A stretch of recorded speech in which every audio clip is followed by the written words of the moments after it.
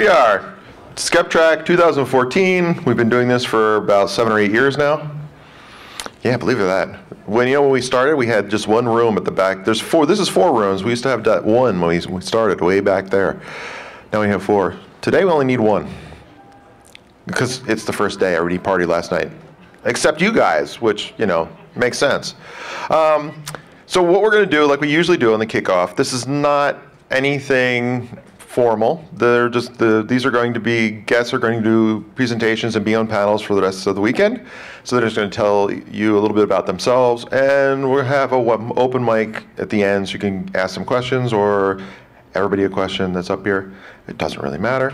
So we will start with the person at the very very far end because he is a first time he, guest here at DragonCon, and he'll be doing a magic show. I think tomorrow night. No, no, Sunday night. And uh, this is uh, Curt Anderson. Hello, uh, my name is Curt Anderson. This is my first time on the Skeptic panel. I've been attending all seven years that you had it. Uh, my first Dragon Con was 1990. Uh, my wife and I in the second row there, uh, we actually worked with and I was a DM for the first wor world's first ever $5,000 cash prize Dungeons and Dragon contest that was here. 10,000. That's Geek. how old we are. And that was here at Dragon Con in 91. So uh, we've been around a while, and it's just really cool to see Dragon Con take place every year and to have something like this and have a panel like this to, uh, to get us to thinking. Hey, I didn't, really, didn't realize that you had that much cred. I made all of that up. Oh, see, illusionist, you can't trust him. Never. And then we have uh, a second time guest. His first year was last year, and uh, he's from England, actually from here, but he's been in England, and he's, they're trying to move him to Japan. And it's Nick. Tell people a little bit about yourself. He, is, he has a very interesting background. Yeah, I'm not sure I can compare in that sense. My daughter's in the crowd going, why can't you have a cool job like that? anyway, uh, Nick Eftimiades. I, I am with the Department of Defense. That wasn't mine, I swear. My crotch is, my crotch is beeping. Big brother. um, and uh, so I'll, I'll go. it was a Novellas. For those who join me throughout the uh, any points during the weekend, I'll be um, uh, prefacing my remarks with, you know, this is my opinion, not that of your government. But uh, I did just get done with a three and a half year tour in uh, England, and we are headed out to Tokyo, if uh, depending on how things work. Um, I have specialized in space and futures over the past uh, 15 years or so. I did seven years in the National Security Space Office, uh, leading teams to do generation after next uh, technology and space architectures. I've had a total of 30 years in the government. Some of them have been diplomatic assignments, some of them in space and future technologies planning assignments. So on the side, I've done a fair amount of writing, fiction and nonfiction. And uh, I've been lucky in the fact that a lot of exposure to very, very advanced technology, which I sort of think about often to the future and implications for humanity and uh, the social institutions that we all know and are a part of. And uh, so that's incorporated in a lot of my writing. So when are the robots going to rise up like the Terminator and kill us all? Actually, you know, we, we, we're tapping him down now a bit, you know. and another first time guest here at DragonCon and Skeptic Track is Todd. Hi, I'm Todd Stiefel. Can you hear me all right? So, so I'm Todd Stiefel. I am a DragonCon version. Lifelong. I, I never. You never been here once before. I, never I thought you had before. No. Yeah, exactly. So yeah, I'm excited to be here. This has been I've been in town 12 hours and having a lot of fun. Glad to be here. Excited.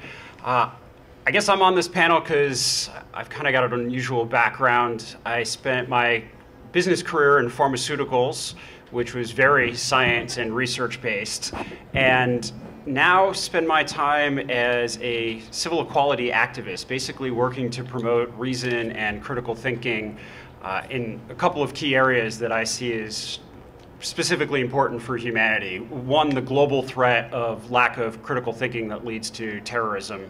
Uh, two, the lack of critical thinking that leads to attacks on our civil liberties, such as anti-LGBT movements, uh, anti-contraception movements, etc.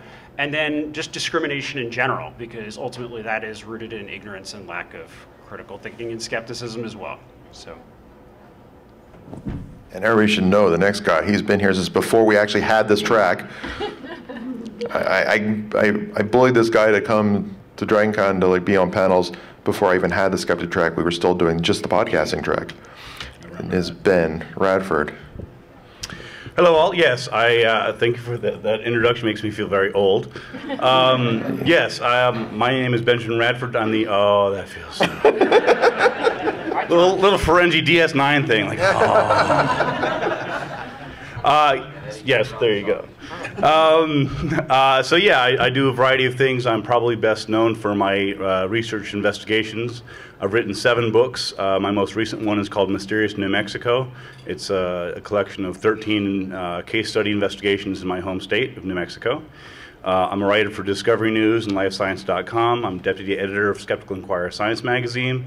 I'm a research fellow for, uh, the, for the Committee for Skeptical Inquiry. Um, and I'm probably best known among the sort of um, cryptozoology fields for uh, researching and solving the case of the chupacabra, the vampire beast in fact fiction and folklore. Uh, I do a lot of research into strange mysteries, everything ranging from ghosts to uh, alternative medicine, uh, this and that. I'll be giving a talk later today on crystal skulls and one on Sunday on uh, organ theft urban legends including the ones you know where they say, "Oh my God, your kidney's stolen, call 911," and then you have to go and trace, trace your kidney to black markets in Asia and all sorts of fun things like that. Well, come find out. It'll be fun. Come back and find out. Um, so anyway, that's that's sort of what I do. And as, as Derek noted, uh, one of the reasons I enjoy coming to DragonCon is it, it's a good it's a good nexus for uh, for communicating skepticism to the public. Uh, a lot of what I try to do from, with my columns and writings is to sort of say, hey, this is cool, this is interesting, here's this inherently fascinating topic, and here's how we look at it through science and critical thinking. Uh, and one of the cool things about DragonCon is you have people who just wander by. They know nothing about the skeptics. They're, they're here for Star Trek, they're here to see William Shatner or whatever else, and they're like, hey, what's, what's that guy talking about in there? And they stop in, and, and, Margaret knows the same thing. Like, oh my God. And suddenly we have people who are like, they, they were never self identified skeptics until they realized that there's people who actually do this. So that's, that's one reason that, that I'm here, and, and thank you all for being here. And last but not least, Margaret Downey, who's probably going to try to bully you into like be involved with something because that's what she does. she does it very well bully, too. Bully. Yeah, um, I'm uh, I'm a good organizer, as Derek has discovered um, from the very first Dragon Con that I was invited to as the Frigga triskaidekaphobia treatment nurse, and uh, that was seven years ago. And um, I am not the type of person that says, you know, Derek, you should do this, without being ready to do that job. Um, so when I said, you know, where are the skeptics in the parade? Um, Derek says, well, you know, nobody's ever organized it. So I said, okay, I'll do it. And that was about three years ago. So um, I will have a presentation tomorrow at 11:30 to go over kind of the story behind uh, how the parade skeptic entry happened with a nice slideshow. You'll get to see some of the costumes we've come up with over the years. So please uh, arrive here at this room at 11:30 tomorrow after the parade, and all the parade participants will be here too, and you'll be able to see live and in person what you might miss tomorrow. The parade um, last year was viewed by 80,000 people. And this is a PR opportunity that the skeptics should never miss. Um, I also want to just tell you briefly that I have my own 501c3. It's uh, the Free Thought Society. Uh, and I also act as a goodwill representative between groups. I sit on the board of the Freedom from Religion Foundation. I do events for the Center for Inquiry. I speak for the American Humanist Association and was a past board member for them. And I also speak at American atheist conferences. Uh, and I'm very happy to announce that in a couple weeks I'll be at ApostaCon uh, doing a workshop. And if uh, you're going to ApostaCon, please say hi. Uh, I'll be doing a workshop on Friday morning um, before Neil deGrasse Tyson uh, speaks that night. And also going to ApostaCon is Lawrence Krauss. So uh, it, it's going to be a great event in Omaha, Nebraska. If you have an opportunity to sign up, um, please do so. And use my speaker code, MDOW1466. Thanks. I told you she's going to make you do something. All right. So I found I got I got a message from the novella. Um, they were still at the airport when this started, so uh, they by the time they get here, this might be over. Um, so that's what happened with him. So he didn't shun us or anything. So we have a microphone that's right there in the center of the aisle of the middle of the room. And if you have questions, you should probably line up on that microphone. And uh, there's a, a fun song that goes along with you know what we what we're going to do from now on with our uh, QA. And I got this from George Hrab, who has been back for a couple years, but it's still George Hrab, and he's funny. So uh, you got that for me?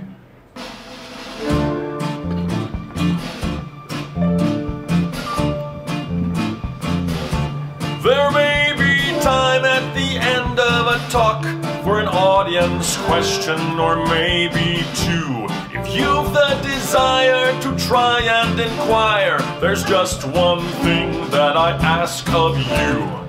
I said it last year, I'm saying it again. Make sure that your question's a question, not a story, a yarn, or a tale. It should have a point and be nice and concise, or else I'll throw you in question jail. I'm sure that your story's quite special. I'm sure that your view is unique. But folks have paid big bucks to hear expertise and not watch time run out while you speak. Make sure that your question's a question. Make sure that it doesn't run long. If it turns into a diatribe, we all will start singing this song. So I'm all for a well thought out question. But brevity is what we need. When figuring out what you're going to ask, think less blog and more Twitter feed. Make sure that your question's a question. It should be like a one sentence quiz. The phrase that it absolutely can't contain starts with quote. My opinion is. I have a feeling I'll have to play that more than once this weekend. and you know, this is one of the reasons why I hate the fact that he's not at Dragon Con for the past couple years. I can. There's a reason for that. He got a. There's a new manager of his orchestra, and they used to never play Labor Day weekends, but they do now. So, and he's the drummer, so you can't have a band without a drummer. So he's here. So he, gave, he said, "You can play this." I was like, "Okay." All right. So obviously, because we played that song, there's nobody wants to ta- ask a question because they had stories. Everybody is really wordy. So we will then start at the end with uh, Curt. Curt. Yes, So you do magic. I do. Is it magic or illusions? Uh, it is illusions. I, I tell people in the show, I ask people at the start of the show regularly, do you know the difference between a magician and an illusionist?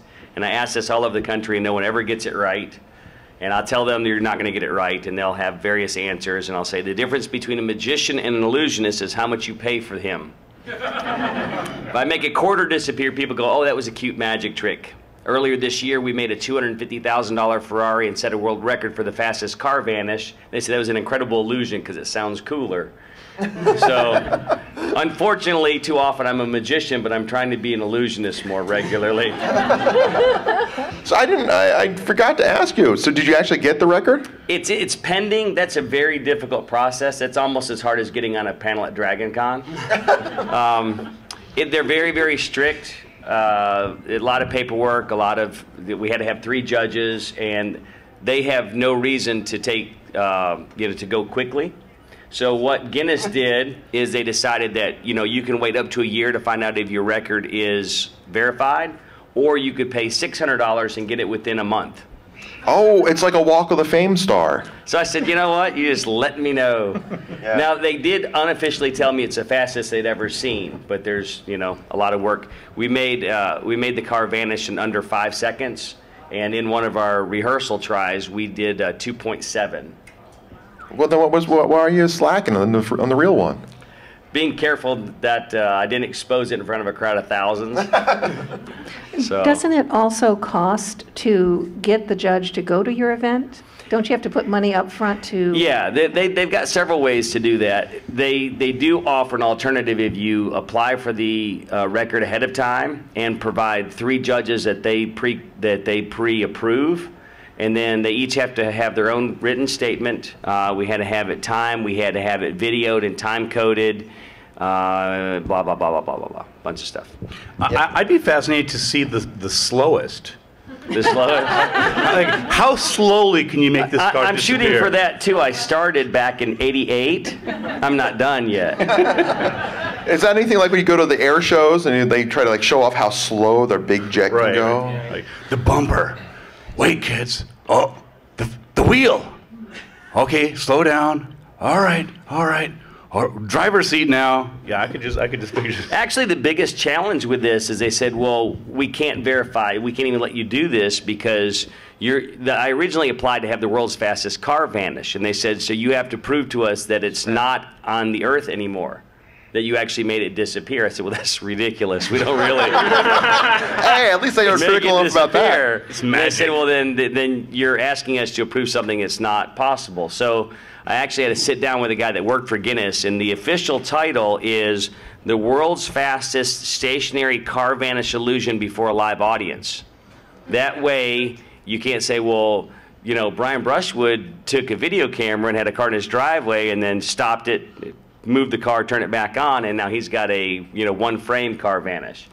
So uh, had to be before a live audience and the whole thing. But uh, then I had to write an, an alternative title so that if it gets published in the book, uh, which like less than 1% of records actually make it into the actual published Guinness Book of World Records, that they would have a shorter title that would be catchier to people's eye. So. You know, all these car manufacturers always, you know, boast, um, our car goes from zero to 60 in a minute. What I want is a car that goes from 60 to zero so that I won't get ticketed when I see a cop. That tells me a lot about your driving. It's funny. I, I was wondering about that because uh, I don't know how many people of you, how many of you have been coming to DragonCon for a while, but I remember back. I think it was the year that Michael Jackson died. We set the record for the number of people actually in costume performing the Thrill, Thriller video. Right. And we did actually beat it by quite a bit, but we got it taken away because of a techna- technicality, because another group did it, but they didn't dress up and they didn't dance or anything. But they just had a big crowd, oh. and it was in Japan somewhere. Oh. And we're like, what? It was so yeah. lame. That's the thing about these world record stuff. It's a little shady sometimes. You didn't pay enough. Right. Probably. Yeah, it was a big deal. Like it was like everybody dressed, and they actually did the exact thing. They even they even had somebody dressed as Michael Jackson and did his part and everything. And no, some big crowd is listening to the song in, in Japan, and they, they won the world record. It's like how many asterisks can you put on the record? Yeah, You still yeah. have it for in costume. Yeah, yeah. Right. yeah. you know, I guess we I guess we didn't write like he said. I don't think we wrote out what our title was long enough to like be in that one pigeonhole. So I was wondering if you actually got that or not. Uh, so I'll now- let, I'll let you know when I'm on panel next year. Uh, uh, so, Nick, when are the robots going to rise up and kill us? Well, oh, look, we have a question. Yeah, we do. There we go. All right. Okay, let's have something really vague. When does religion end and philosophy begin? Or where? And, uh, well, are there any of those religions out there that don't tell you that uh, you're going to go, you know, bad things will happen to you if you don't follow them? So, a couple of those, really vague ones. Well, I know at least one. So, I, I, personally, I don't think religion's going anywhere anytime soon. As a matter of fact, this is an example, and this was surprising me. I was actually in Greece last month, and we did a tour of the Acropolis, and we had our tour guide who was very well educated. He's a former archaeologist who then went back to school for three years to be a tour guide, and knew his stuff backwards and forwards. Drive around, learn all these interesting things. One of the things he told us is that there is still a small subset of the Greek population that worships Zeus and the full Greek pantheon. So we, we haven't killed them off yet. I, I don't think religion's going anywhere anytime soon, unfortunately. I, I think. Uh, I, I, think that it's going to decrease and the world's going to keep secularizing, but I think there is always going to be religion and religious people. My only hope is that it becomes more moderate and tolerant in time. Well, can I ask, are you talking about the distinction between religion as in, in, in, in an afterlife and the belief therein, and philosophy as in a way of human existence? Because those are two different, you know, Well- there's overlap, but, Um, both, actually. Uh, the afterlife thing is, uh, to me, one of the most onerous parts of the religious sales pitch because it's almost, they, they say they love you, but they've got this threat. Well, but if you don't buy our stuff, you're going to burn in hell. right? Uh, so uh, actually, if you could cover both. The other one is the philosophy. You know, this is how you should live, but there's no threat at the end of the at the end of the tagline. See, I, I, I think if you look globally, I think you'll find that in certain regions in the world, religion is on the way up, Middle East being, you know, um, one of them, and the spread therein. Uh, philosophy, ways people should lead their, lead their lives, or philosophical constructs, if you will, on, on, on human behavior, uh, that's sort of a really interesting thing because, you know, the technology of the day, you know, the, the way I look at it has changed us dramatically now and for the next couple of decades is going to impact civilization, you know, in, in an extraordinary fashion. And you can see in some places, example China, just this complete lack of sort of a, uh, a reason in, in living or a philosophical bent towards living, very particularly in their in their exalted classes, for lack of a better term. You know, for those who are really making it in China, that small percent of the population that's actually uh, uh, benefiting tremendously. Uh, they're sort of at a philosophical, you know, lacking, and, and they're really struggling to find something.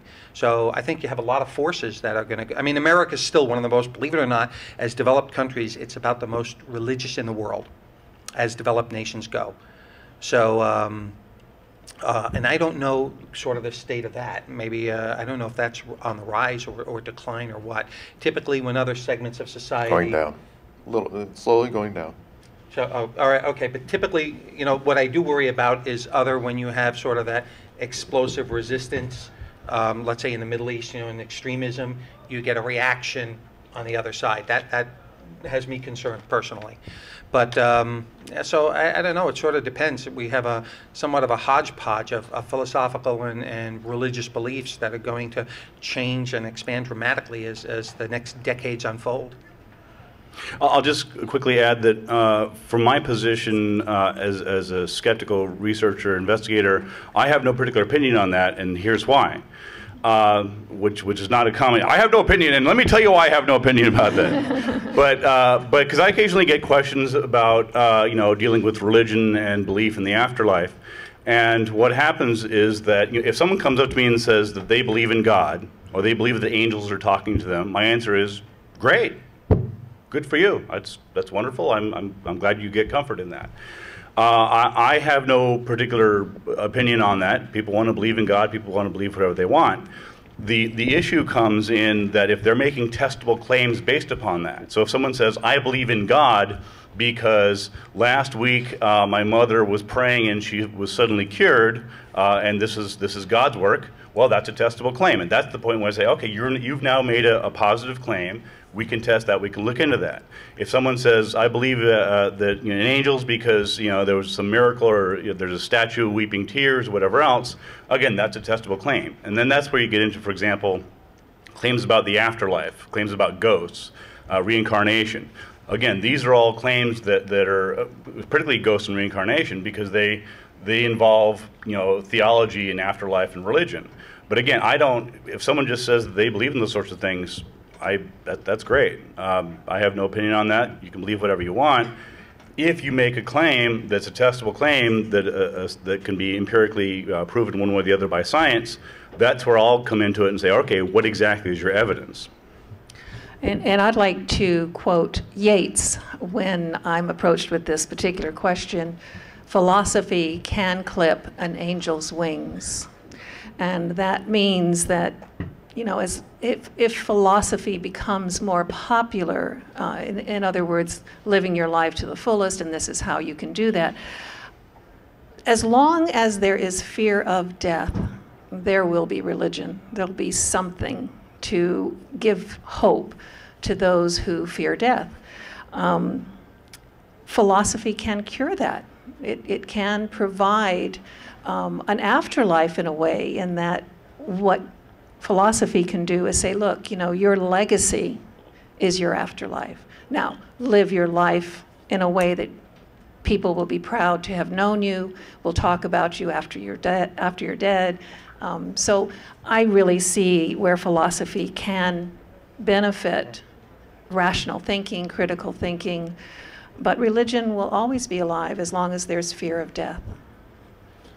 And the other question that you had about is there any re- religions, quote unquote, that don't deal with the threat of an afterlife? Uh, a lot of Judaism is like that. A lot. There's actually many atheist rabbis, and people don't know that or no, don't realize that.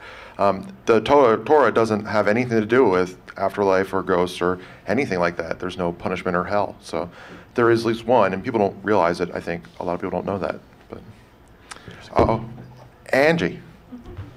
Thank you. Um, I always love seeing when we have people who are well, well, um, um, who are ch- have hot. God, I need more coffee. Um, Coffee or wine. I know, right? So um, I love it when people who have made some contributions are in front of people who may or may not have had an opportunity. So I wonder if each of you would talk a little bit about your um, most proud moments in skepticism or um, in your career thus far, even if it's something as simple as I learned how to tie my shoe or something. I don't know, anything like that.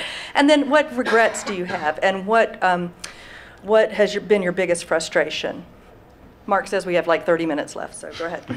Drag it out. Great. Drag it out. Play the song again. We'll start at the end. All right. Well, this, you know, this will make sense to some and maybe not to others. But I think the the most proud for me is is actually on a personal level. Uh, my wife and I have three sons, and to see them learn to think for themselves uh, means more to me than anybody that I speak to, anybody that I perform for. Um, somebody comes to my show or somebody comes hear me speak, and I don't know what they take from that. Every one of you have a different life, a different experience, and you walk away from this weekend with something different. But I get to see it with my boys. And, and it, it impacts every area of life. You know, to have one son go, you know, that TV ad doesn't make sense because, you know, and to be able to distinguish when they're just trying to sell a product that's maybe crap, or another case where, you know what, it is worth paying extra for this because it's a better item. And those, those things seem simple a lot of times, but to be able to distinguish the difference when you're 10, 11, 12 years old, to me, I marvel at that. Um, I, one of my sons came in one day. He said, "Dad, I have a question." I said, "Okay." And he's six. Was he Drew six, five, or six? right? He's 12 now. Take notes. Always ask the wife. Look, I even know my anniversary. Okay. So he, five or six years old, he said, "I want to ask you something." I said, "What's that?" He goes, "The tooth fairy can't be real." I said, "Well, why do you say that?" He said, "Because." he'd have to come to my room every night. And I wake up at least half the nights. By random chance, I would have had to have seen him at some point. I'm like, would it disappoint you to find out the tooth fairy is not real? He goes, would I still get the money? I said, yes. I said, if the tooth fairy is not real, it's a game that we play. And as long as you play the game, regardless if you believe it's real or not, you still get the money. He goes, I have no problem with that. so about 30 minutes later, he's in his room and I'm watching TV and he's like, oh crap. I went in there, so what's wrong? He goes, Santa and the Easter Bunny? I'm like, you can still play. He goes, okay. So, you So know, I that- accept your conditions, right? That's, that's going on in his head. My kids think like that all the time. And to me, that's my proudest accomplishment, really, is to see them develop. And they're going to do far greater things than anything I've ever done in my life. So, back to legacy. Frustration? That'd have to be kids again. Oh, crap. Yeah. Uh, the, the frustration is, uh, again, there's there's so many different people, there's so many different beliefs and philosophies and ideas, and people say they want to discuss it and they don't. Um, you know, as a magician, we've had people say, "Well, we're not going to have you because there's people in our area who think what you do is demonic." And I was like, "Okay, well, I'd like to talk to those people." And I've had times where I would say, "Well, schedule a time for me to talk to them," and they they won't talk to me. And I said, "Well, here's the problem I have. If what I do is demonic and it's wrong, it's not that I shouldn't do it for your area. I shouldn't do it anywhere. So let's get together, and I should either be able to explain to you what I do and why, and it's okay." Or you should be able to explain to me why what I do is wrong and I should stop. It shouldn't be I can't do that here, I can do it everywhere else. That's that's a frustration for me. And it comes with what I do because I'm weird, so. You also took over um, half of uh, Brushwood's old hairstyle. What's that? You took over half of Brushwood's old I, hairstyle. I had this before he was born. Oh, okay. I had that before either you were born. Yeah, it's funny because I, uh, well, on my original schedule, they had to, it fell off, fell through, but we're going to have the premiere of The Honest Liar, which is a documentary about James Randi, which I've seen. And it deals exactly with what he's talking about, really. It's about, well, illusionists and magicians, and they basically are liars, but everybody knows it. So is that okay, or being honest? And uh, there's a there's a whole part of it that's about that. It's like, well, you're you're fooling people, and what do you do with that? I mean, is the morality of that. So, and we have Todd Stiefel. Tell us all about pharmaceuticals. We skipped Nick here. Oh, Nick, did I forget you?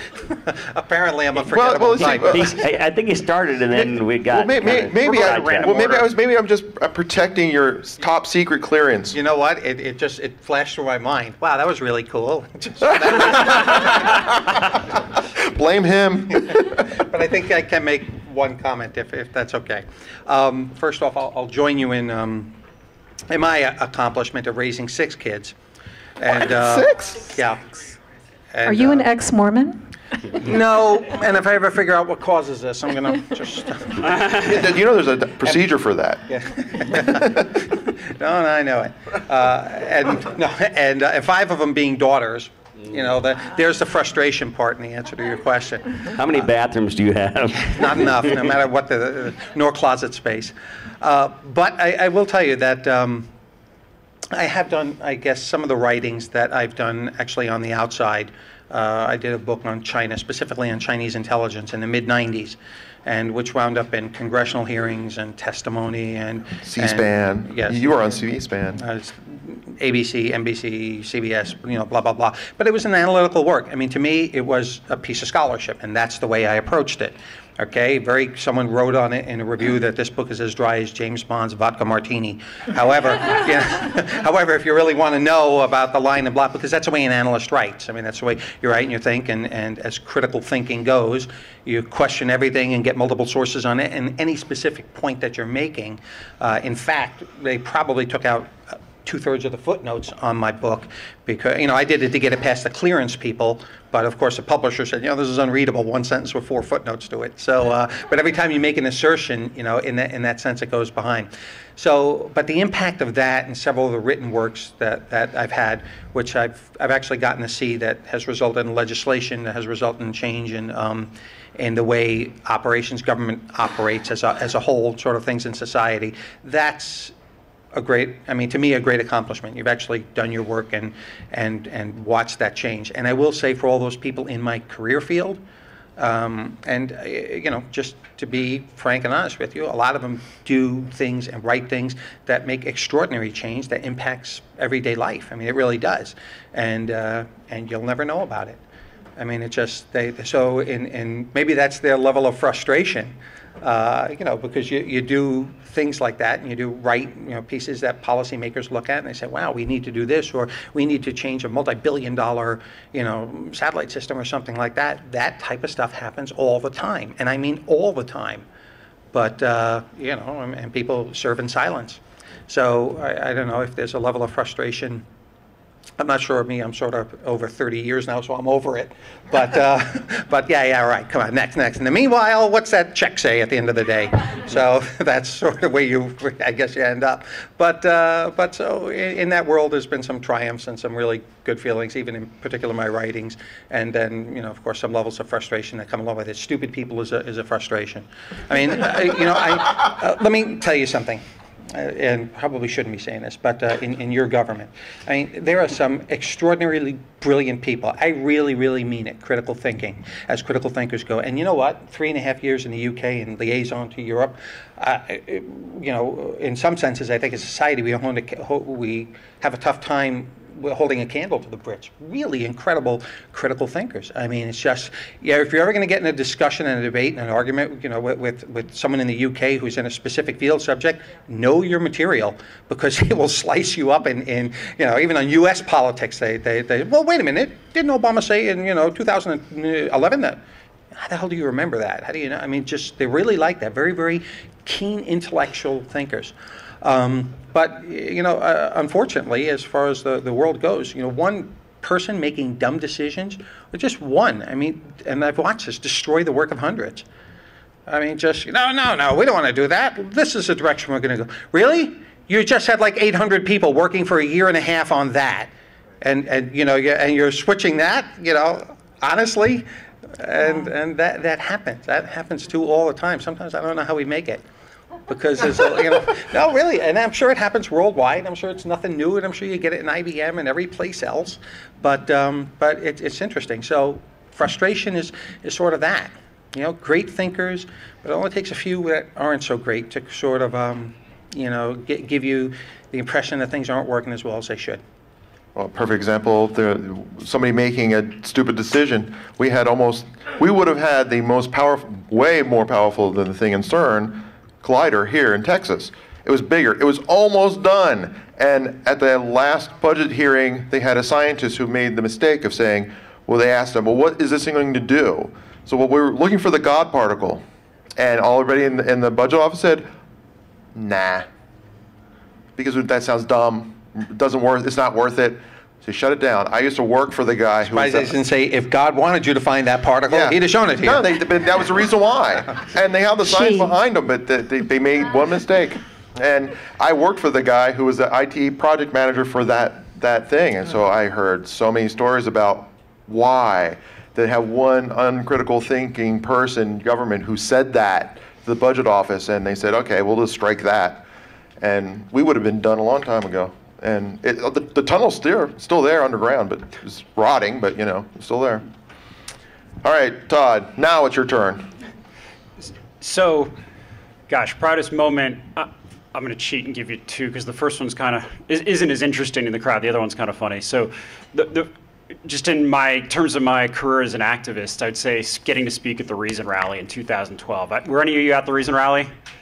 Uh, it was. Uh, wonderful day, and I had a long 20 minute slot, and I couldn't even tell you how many hours I spent prepping. I went and studied the I, I Have a Dream speech and watched it again and again and read write ups on how he did it and what different things he used. And so that was just a wonderful moment. But a uh, more, more interesting one, kind of back to the kid theme, is. Uh, reading the Bible, uh, children's Bible, to my kids, and they were my son was probably about six at the time as well.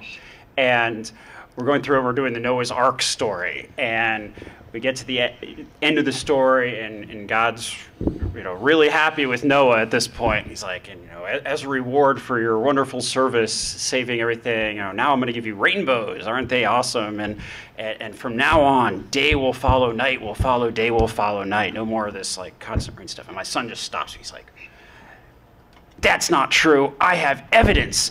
And he grabs the Bible from me and starts flipping back. And he goes all the way back to the beginning of Genesis. He's like, look, right here.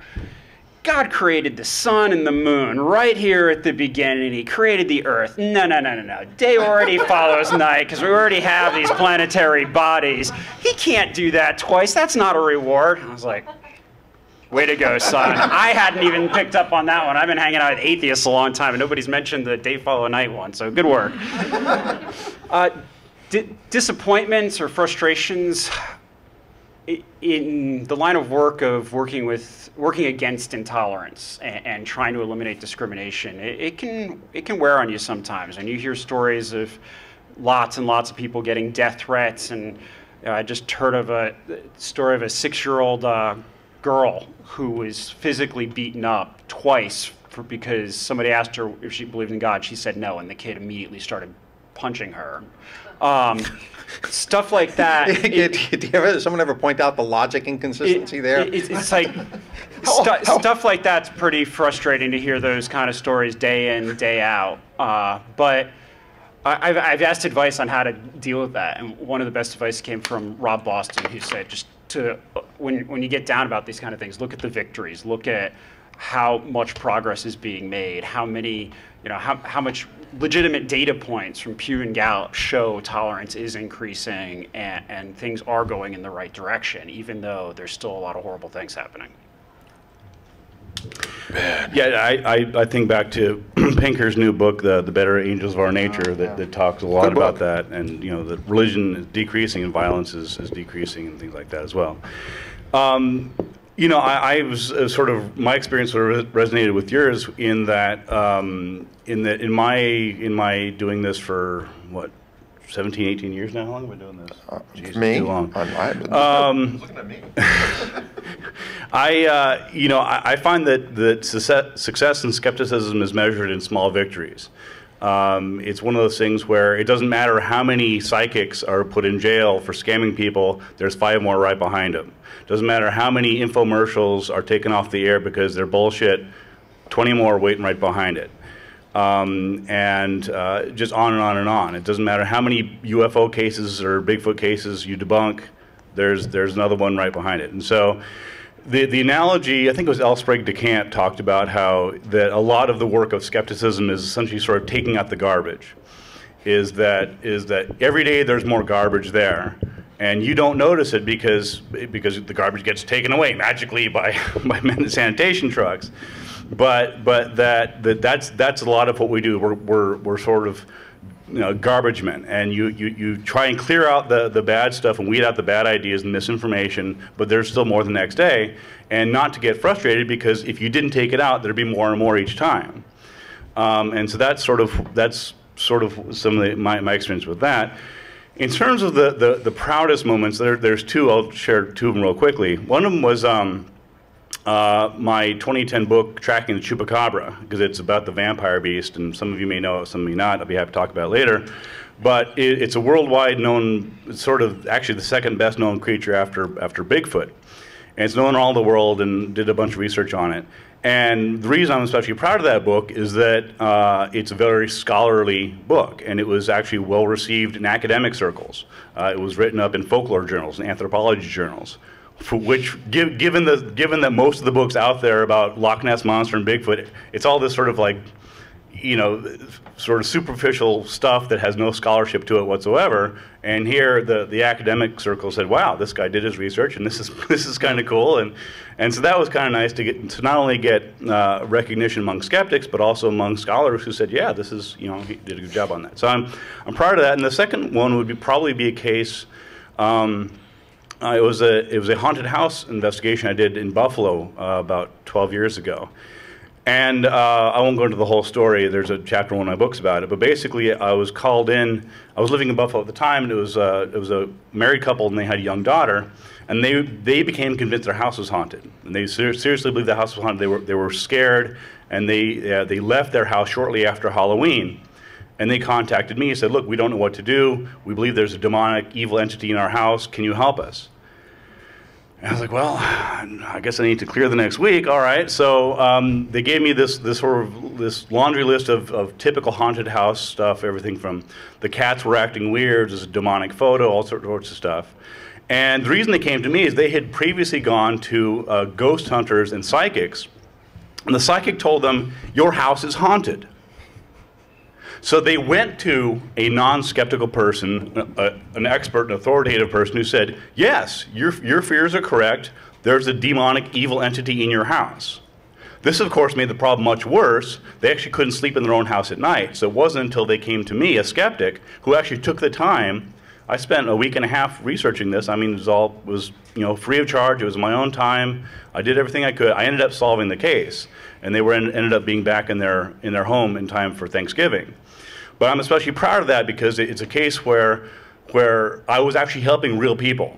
This wasn't some sort of abstract, oh well, this this UFO, you know, this this photo's this this you know this one's fake, this is that. There's real people who needed real actual help, and and because they came to a skeptic, uh, it could have been somebody else, they just happened to come to me. I was able to allay their fears and, and help them out. And, and you know they went back in their house, and the the, the, uh, the, the their young girl was was uh, was you know, everything was fine after that. So I, am proud of that case because again it was real life people who needed help. They'd been been misled by their interpretation and psychology of all this, and also by bullshit psychics and ghost hunters who who misinformed them and actually made the situation worse. Um, and anyway, I, I, talked a little bit about the frustrations part at the beginning, so that's, that's mine. Oh, that was great, Ben. Um, I guess I should start with frustrations because um, it's always the same frustration with me, and it's always lack of money and lack of help.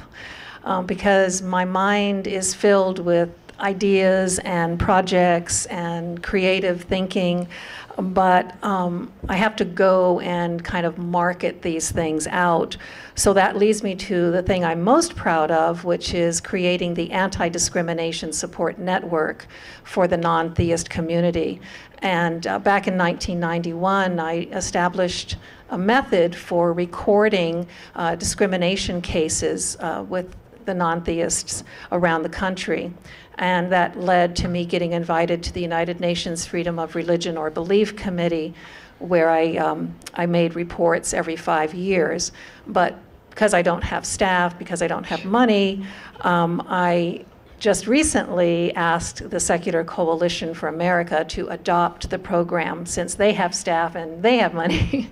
so I was very, very proud that they liked the project and they're going forth with it in a, a much better way than I could. Um, because they're now, you know, online forms that you can fill out, and they get into a database right away. Uh, we also have pro bono attorneys willing to talk to people who've been discriminated against, and uh, you know, we're connecting people all over the country who have similar situations. So I'm very proud of that particular project. Um, but um, one of the projects that I'm hoping will really take off is my mentoring of younger generations of non theists and skeptics. I think it's very important that we all get out there and get younger people to tell us their journey stories, to develop speaking abilities, to give them a venue in which to become an activist. And so I'm traveling around the country recently just uh, showing people how important it is to write a journey story because that can also be a, a book pitch. So, you know, journey stories connect us emotionally. Um, a lot of non theists have reasons why they don't believe God, like, show me the evidence, there's no evidence. Well, tell me your story and then connect emotionally with me, and I'll listen. I think it's a better way to talk about the subject. So um, that would be one of the things that um, I'm doing recently. But maybe the worst thing that's happened um, would probably be death threats. You know, there's there's nothing more scary than a death threat. I felt so terrible getting a death threat one time and hadn't had the time to tell my son or my husband that I had a death threat, and they came home and found the police there. And that was the worst experience. So that would probably be the worst thing that happened. Um, and I started to regret speaking up and being an activist because of those death threats. But then that would be my worst regret is not speaking up. I have to be principled and I have to move forward when I see an injustice. So. That's it. Just, just as an aside, the, the story of the six-year-old girl who was beaten up, we would never have even learned about if it wasn't for the anti-discrimination uh, network and ability to get that in that Margaret set up. So. Thank you. Thank you.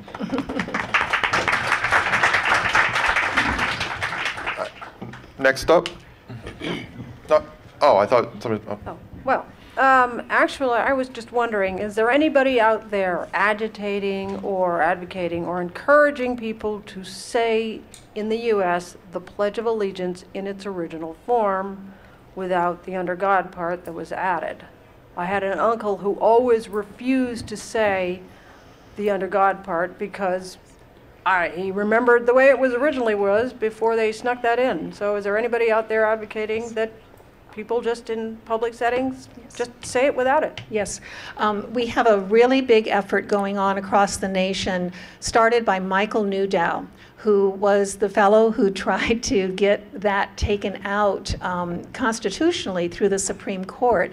They threw his case out saying that he didn't have any standing to bring it forward, but they, he did get um, a hearing, an, an oral presentation at the Supreme Court level. He was magnificent, and even the justices all said, what a great orator he was. So what he did was he started um, trying to find cases around the nation where children were forced in their school system to say the pledge with under God in it because it becomes a prayer at that point with those two words. And so we have several cases. He won his case in California um, that he presented on behalf of two families. We're trying to get a case won in every district in the United States so that when there is uh, a non-win, we can show the conflict and then take it to the Supreme Court again. But Michael Newdow, his um, website is First Amendment. Um, I think that's what it's called. But um, look it up. Michael Newdow's uh, 501c3, I think, um, and you can help support that cause. How do you spell Uh, Newdow? Newdow, uh, N-E-W-D-O-W. Um, think- can I, can I just throw a quick follow-up in there? Yes. I've always sort of been confused as to why the battle isn't against the pledge in the first place. I mean, I understand the against God, but I think the, lo- I mean, I guess that's a question, is there, is there a rationalization for that? I mean, I know it's a We lot. can't hear this question. Yeah, the question was, why don't we just fight the pledge altogether?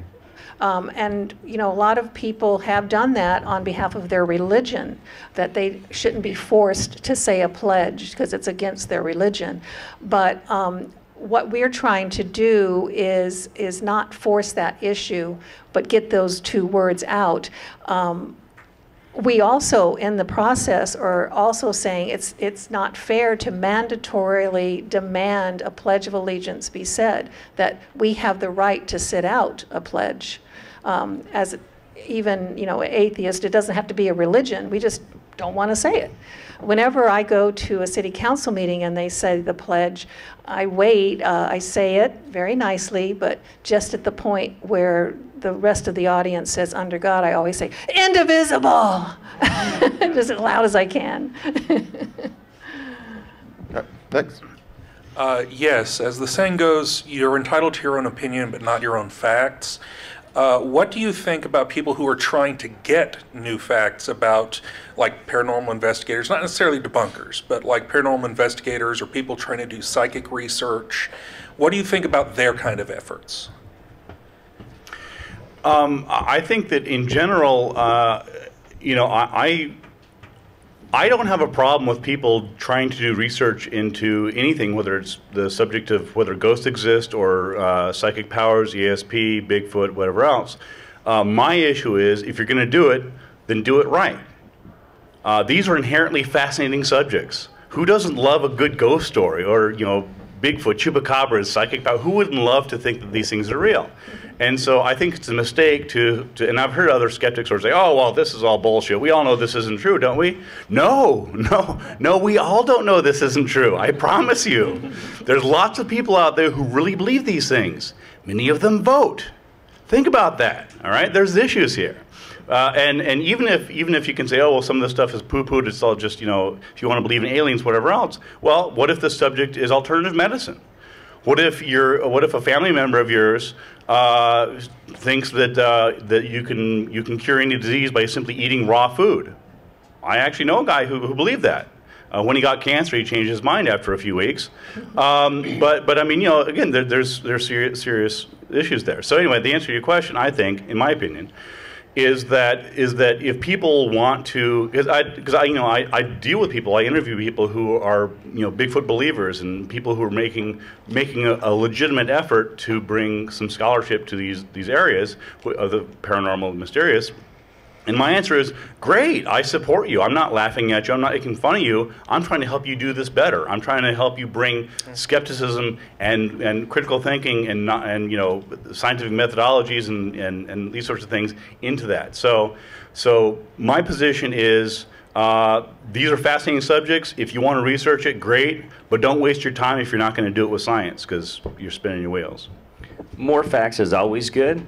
Um, you, you said you, you you're you have your right to your opinion, but not your facts. Facts are good, but when you put the facts and the opinions together and come up with conclusions is more the problem, I think. Mm-hmm. Um, the truth will always hold up on its own if, if you get enough facts. So even, you know, somebody looking for facts that there's ghosts, if they're looking to prove there's ghosts, that, that's great, like you said.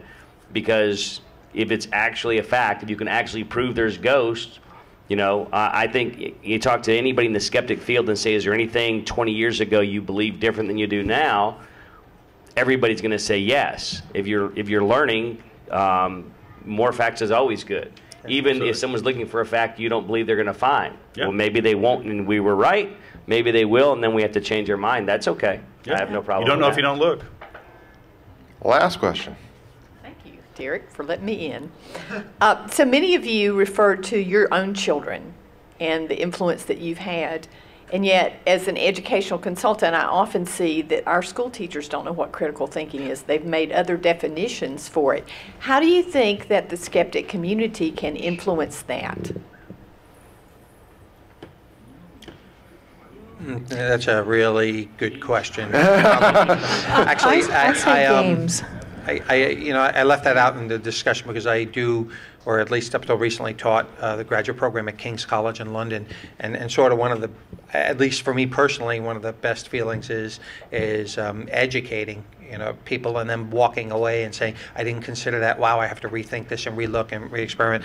But and, and you, are right. Um, critical thinking is just in our educational core. Okay, for lack of a better you know way to phrase that uh, is a component. We're not we're never going to do any better, you know, with our with the young people of today or the next generation if our if our educational core isn't hasn't been properly trained isn't properly trained in critical thinking. And I have no good answers for that. I, I you know it's a it's not only a nationwide problem but a global problem. So um, I, I you know it's I don't know, a process of educating and re-educating and enforcing standards and some aspects, even cultural dynamics. As I said, I, I, saw a lot more of that in the UK than I do in the US, which is a little scary to me personally. But um, I, I, I, don't know if anyone else. I'll, I'll just answer real, real quick. My my concern is that uh, is that in my experience, critical thinking is not thought of as as a it's not taught in schools. It's, it's something that teachers assume that will sort of magically happen. If you teach them biology, if you teach other things, the assumption seems to be if you just show these show these things that somehow critical thinking will happen. That's not true at all. And so my my my my position is that critical thinking needs to be recognized as a as a legitimate study field at, at that lies at the basis of all these other things. So, so you should, you know, critical thinking is the prism through which you understand biology, through which you understand geology, everything else. And so instead of thinking of critical thinking as sort of an afterthought, like, well, oh, by the way, you know, once you get to college, you can take this critical thinking course. No, that should be in the curriculum throughout. So I think that's, that, to me, that's the biggest issue, is that critical thinking is not widely recognized in the, in the educational system as, as a, a core component that should be there. Well, I have a dream that Don, uh, I mean Dan Loxton's book um, will be printed, combining all the junior skeptic articles that have been printed in Skeptic magazine into a, a, a curriculum-approved study guide for elementary school with illustrations and everything. That's my dream. and vote for candidates that support sound science. That, that's the way you can really make a difference right there. Well, we need a science Amen. debate. We need a science debate. Yeah. Well, back into the politics without sounding like a conspiracy theorist, it's easier to lead people if they don't think for themselves. So there's not a lot of there's not a lot of reason to teach critical thinking. Um, you know, we've done a lot of shows in schools, and the teachers don't think for themselves. How are they going to teach it? You know, and you've got the the the people that represent the schools and the, the teachers associations and stuff have a lot of political power in a lot of the states. And so if the teachers don't think for themselves and let them do it for them, you know, they're not going to teach it either. Well, and with that is kind of the end of this panel. Um, but yeah, it, it, keep in mind, as much as people in America love to say it over and over again, the people you vote for are your employees. No matter what you say, no matter what conspiracy theory crazies always say, no, they're employees of you. You can fire them. So they're not doing something that you can't do. You can get rid of them. And people forget that. Okay, I'll let you do one more thing. Okay, I need to make an announcement very quickly. If you're going to participate in the parade, I have instructions on where to meet and how to get there, so please see me with the information about where to meet for the parade. And then, if you haven't noticed, I have a Dragon Con donation box. And the reason we need to do that is our signs are very expensive. You know, they're about $20 each. And I invest my own money hoping that I will get enough donations to pay myself back and to also start the next year's signs. Uh, if you would like to make a cash donation, I can give you a receipt uh, for your tax deduction, or just a few dollars would help very much. And thank you very much for um, considering that. And like I said at the beginning, I knew Margaret would make you do something. All right, well, thank you so much for coming to the first thing.